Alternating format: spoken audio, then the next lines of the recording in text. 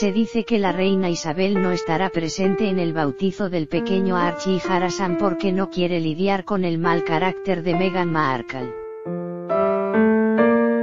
Aunque aún no se cuenta con una fecha exacta establecida, el bautizo del pequeño Archie Harrison podría llevarse a cabo durante las primeras semanas de julio en la capilla de San Jorge, lugar en el que Meghan Markle y el príncipe Harry sellaron su amor, sin embargo, la reina Isabel podría no estar presente debido a compromisos previos, o al menos eso es lo que nos han querido hacer creer.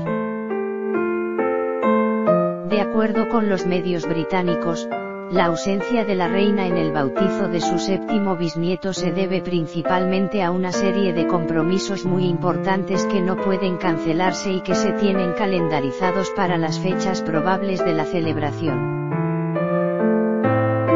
No obstante, aunque esta no sería la primera ocasión en la que la reina no acude al bautizo de alguno de sus bisnietos,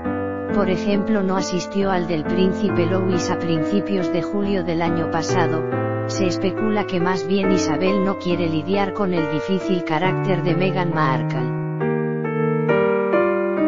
De hecho, no necesitamos retroceder mucho en el tiempo para recordar que varios de los empleados del palacio renunciaron debido a las exigencias y mal carácter de la duquesa de Sussex. Asimismo, uno de los últimos apodos con los que la bautizaron fue Megain, porque todo lo que quiere lo consigue.